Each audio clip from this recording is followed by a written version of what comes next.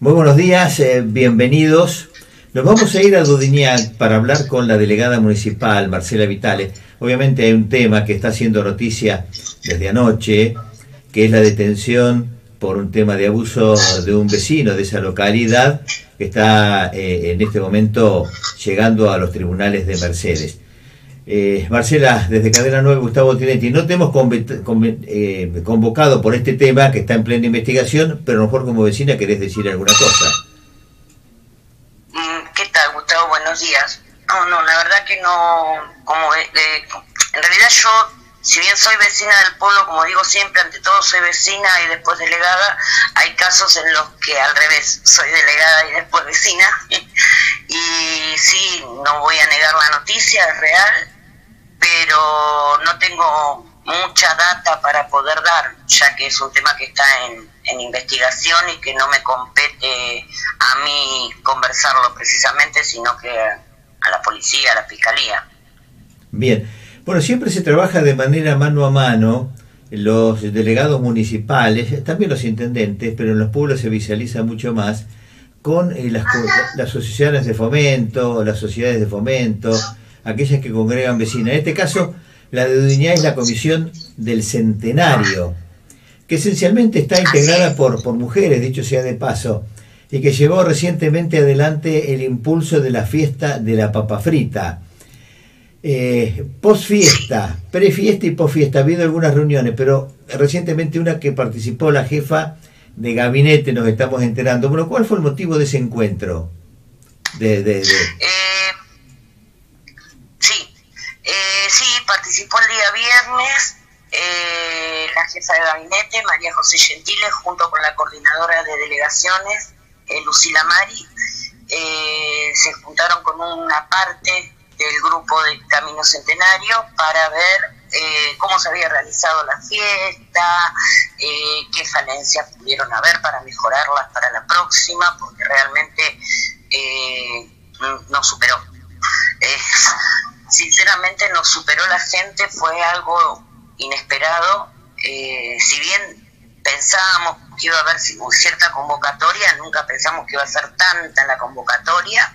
Y bueno, eh, María José vino a hablar con ellas para ver, para colaborar, para ver eh, cómo se podían subsanar las cosas que nos faltaron ese ese día, eh, para felicitar a las chicas también por el trabajo impresionante que hicieron. Eh, y de paso se fueron tocando otros, algunos otros temas, ciertas inquietudes que tenían las chicas, en las cuales María José y Lucila se comprometieron a, responderle en, estos días. Bien. Bueno, eh, mira, mira qué curioso. El sábado pasado hubo una fiesta del carnaval en Quiroga, lo, ¿Por qué lo cuento? Porque son pueblos con similares población, un poco más de habitantes tiene Dudinia, similares de población, y también quedaron desbordados de la misma manera que quedaron ustedes en la fiesta de la papa frita. Qué fenómeno, ¿no? Eh, las convocatorias. Yo en lo personal creo que primero que nada pasa el tema de que estos años de pandemia la gente está desesperada por salir. Y segundo, que es muy importante por la economía de nuestro país, que no es nada nuevo lo que estoy diciendo, lo, vivimos todo día a día, me parece. Eh, el tema de las entradas libres y gratuitas le da a la gente también otro otra motivación para ir a las fiestas, que fue lo mismo que pasó en Dudiñá y en Quiroga. Eh, ya vos con ese dinero lo contás como para comprar algo dentro de la fiesta a la que vas. Claro, efectivamente. Eh, y hoy es importante, porque también es importante el traslado. Eh, por ejemplo, en Dudiñá vino muchísima gente de 9 de julio, y hoy por hoy trasladarse de 9 de julio a Dudiñá o de Dudiñá a 9 de julio no es nada gratis, porque todos sabemos que el combustible está subiendo en forma bastante presurosa y prácticamente no, no, no sabes cuándo. Ahora tenemos un aumento nuevo del 3%, si mal no recuerdo, de, del aumento del combustible. Y todo eso es una sumatoria de cosas que creo que al hacer entradas libres y gratuitas a la gente también le da como un respiro para poder ir a las convocatorias. Efectivamente, bueno, lo mismo pasó en Patricio, ya que estamos haciendo referencia de las localidades. eh, con, con, el corso. Es decir, la gente eh, se entusiasma, va, participa y, y, disfruta. Bueno, vuelvo a, a, a, a Dudignac. Eh, ¿Hay algún otro tema pendiente con la comisión del centenario para, para los próximos días? Sí, en realidad estamos reuniéndonos, por eso también hablamos con María José, porque el Camino Centenario, yo hablo como si, bueno, eh, yo participo también mucho en el Camino Centenario, si bien no tengo nada que ver en la comisión, eh, generalmente cuando se hacen eventos en el pueblo eh, suelo participar mucho con las instituciones. Y con el Camino Centenario que viene a ser nuestra sociedad de fomento, si bien no lo es, es, es la institución que cumple eh, esa función. Estamos preparando un baile eh, para los próximos días, todavía no tenemos bien la fecha, creemos que va a ser el 19 de febrero, no está, no está todavía nada dicho, eh, un baile solidario. ¿Y cuál es el sentido de la solidaridad? Es, para poder ayudar a, dos personas que se encuentran con estados de salud bastante complicados, que vienen de larga data y que, bueno, se, se complica cuando las enfermedades son tan extensas llevar adelante eh, todo lo que es lo económico, ¿no? Sí, sí, el, los traslados, el, tratamiento y lo que se conlleva. Perdón, te decía el, tratamiento es lo que conlleva, ¿no? Sí, el traslado, el, vivir en un lugar, por ejemplo, que no es tu casa, o el pagar el alquiler de tu casa cuando vos no estás pudiendo trabajar, eh, son muchas cosas. Entonces se decidió hacer este baile solidario eh, para poder ayudar a, a personas que están con estos temas. Bien, Marcela, te cambio. Eh, perdón que no, no, no doy los nombres, todos saben que yo suelo ser una persona bastante prudente y muy recatada a la hora de dar nombres porque no me gusta. Eh, a mí, y en esto han coincidido las chicas del Camino Centenario, dar nombres y exponer a la persona que tiene la necesidad en sí. Tal cual, tal cual. Eh, hace el bien sin mirar a quién, ¿no? Una frase... Es, remanida, pero que ahora eh, cabe concretamente. Te cambio Exacto, no, no nos parece lindo. Te cambio de tema, ¿cómo está eh, marchando las obras en la, en la comunidad, en la localidad? Bueno, en, en este momento estamos reparando todo lo que es el baño del cementerio, porque hace un tiempito atrás tuvimos una especie de vandalismo, especie no, un vandalismo, en el cual nos rompieron todo lo que es el baño, nos rompieron el lavatorio, nos rompieron el, sanitario. Eh, entonces, bueno, ya que estaba, aprovechamos, eh, obviamente con la ayuda del municipio que nos proveyó de todo lo que es los materiales, inodoro nuevo, el lavatorio, la eh, y estamos ya aprovechando de arreglarlo a full. Hicimos todo el cambio de la instalación eléctrica, que era una instalación eléctrica viejísima. Eh, ahora se hizo toda nueva, se está pintando el baño, se está levantando una pared donde había un ventanal y dejando nada más que un ventiluz. Eh, se arreglaron todas las cerraduras, todas las llaves. Eh, bueno, también estamos en un proceso de pintura dentro de lo que es el cementerio, no solamente el baño, sino que una vez terminado esto vamos a seguir con la capilla. Eh, estamos muy abocados en este mes a lo que es el tema eh, cementerio, porque no es, o sea, si queremos abarcar muchas cosas a la vez, como que no haces nada. Entonces se, se decidió ir por un lado, un lado y terminarlo, comenzar una obra y terminarla. Eh, por ahora estamos en eso y obviamente con el mantenimiento diario de, del pueblo, tratando de no dejar de lado eso, que con estos días de lluvia las calles se rompen, como todos sabemos, y hay que volver a empezar. Siempre se empieza de cero. Eh, ya la Champion está trabajando, hemos estado trabajando también en los canales, sobre la vía, con la ayuda de Cristian Vila, que es el nuevo secretario de... No, secretario no.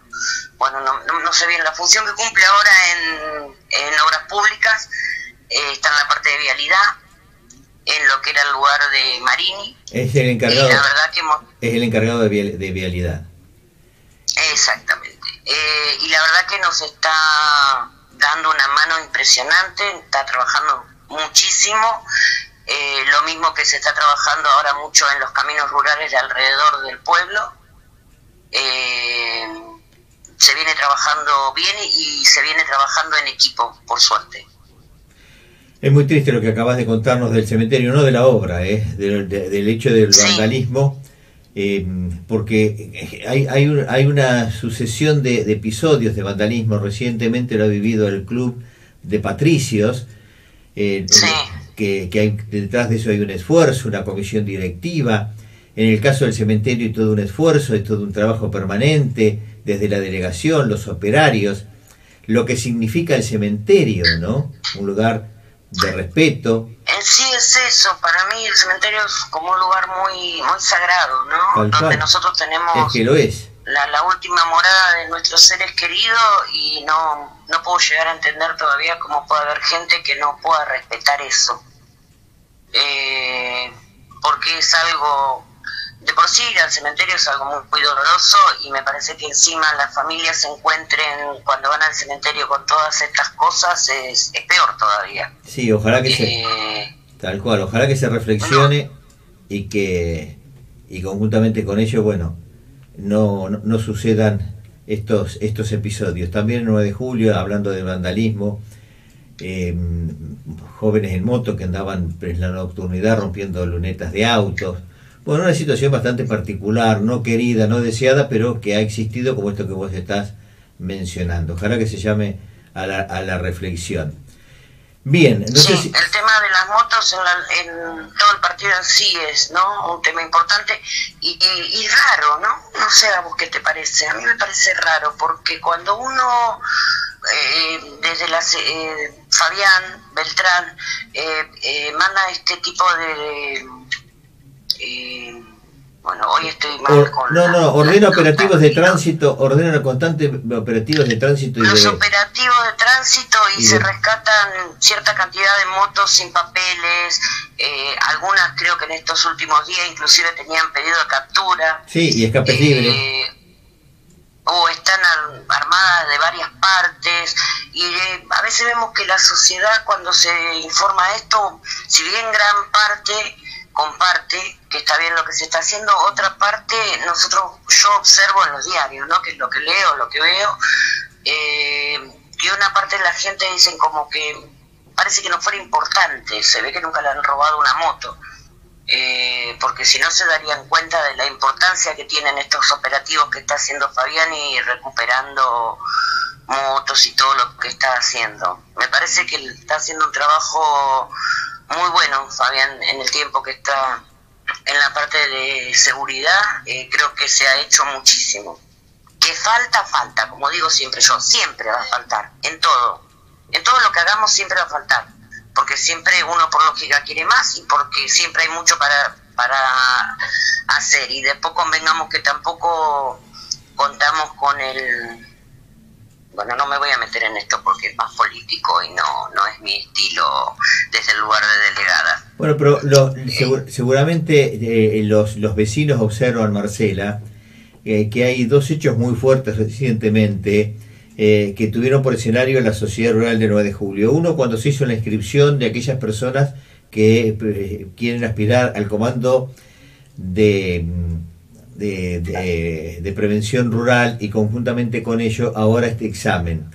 Y no es casualidad que eso se haya hecho el 9 de julio, porque esto muestra el compromiso de la municipalidad en el tema de seguridad.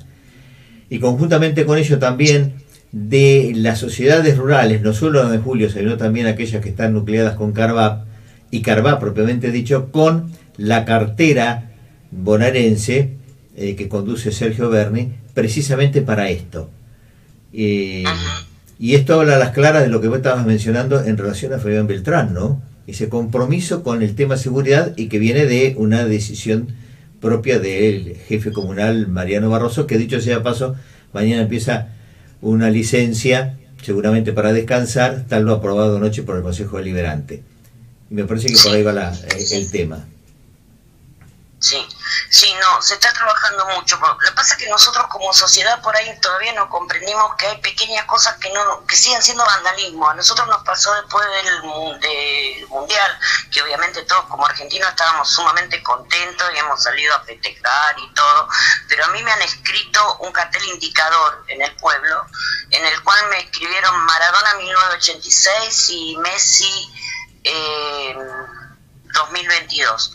Eh, por más que parezca gracioso, no deja de ser un vandalismo porque estás eh, dañando la propiedad pública, que después cuesta dinero volver a plotearlo y es el dinero de todos los vecinos. Entonces, desde mi óptica, no me parece gracioso.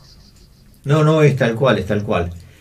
Bien, Marcela. Eh, sí, No, queríamos agradecerte el gesto de este diálogo con Cadena 9 eh, y seguir, como siempre, en comunicación y alentando las obras que se están realizando mm, para, para bien del avance de la, de la comunidad. ¿eh? No, yo te agradezco a vos, Gustavo, que siempre eh, tenés en cuenta la localidad y que me das a mí un espacio donde poder hablar y donde poder decir lo que uno piensa. A veces no a todo el mundo le cae bien lo que uno piensa, pero bueno, es así.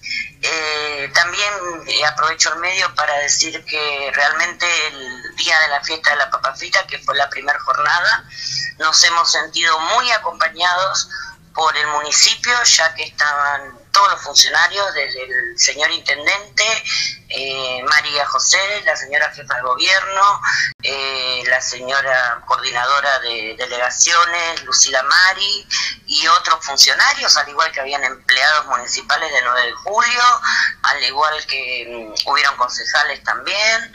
Eh, sinceramente eso para los pueblos es importante porque demuestra también al pueblo que quizás aquellos que dicen que los pueblos estamos abandonados, que no se nos mira, no es tan cierto esa mirada, porque creo que en todas las fiestas locales, no solamente en Duidad, han estado nuestros funcionarios apoyándonos desde el trabajo que se realizó previamente para poder tener nuestras fiestas hasta el mismo día con su presencia. Y para nosotros los lo del interior es muy importante todo eso. Por eso ya que me das la oportunidad lo, lo quiero agradecer públicamente porque creo que las cosas eh, se agradecen. Así como uno critica, también debe agradecer lo, lo que se hace bien. Bien, yo suelo recorrerlos, voy muy en silencio y no observo abandono. Eh, sí, las necesidades de otras obras de infraestructura, pero bueno, eso ya es sabido y, y- y- además cuestan mucho, pero, pero de a poco se va. Marcela, No, yo creo que se va a ir logrando. Nosotros venimos con la suerte de tener la continuidad de ocho años, de estar bajo más o menos el mismo lineamiento dentro de lo que es el trabajo en la localidad, entonces se han podido ir modificando algunas, inclusive secretarías que por ahí no es que funcionaran mal, pero eh, quizás ya habían cumplido un periodo y se fue renovando y esto con la continuidad uno lo puede ir viendo porque no es volver a empezar, tal cual. es seguir una continuidad de trabajo que creo que es muy importante y que no solamente se ha notado en las localidades, pese a lo que nos puede seguir faltando, sino que en la ciudad de 9 de julio, porque la verdad que los, los avances han sido notorios, por más que muchos no los quieran ver. Ma- Marcela, muchísimas gracias, es muy buena jornada. ¿eh? No, por favor, gracias a vos. Al contrario, bueno, la delegada de Duñán, Marcela Vitale, bueno, hablando de distintas obras en la comunidad y también resaltando lo que ha sido la fiesta de la papa frita. Muchísimas gracias.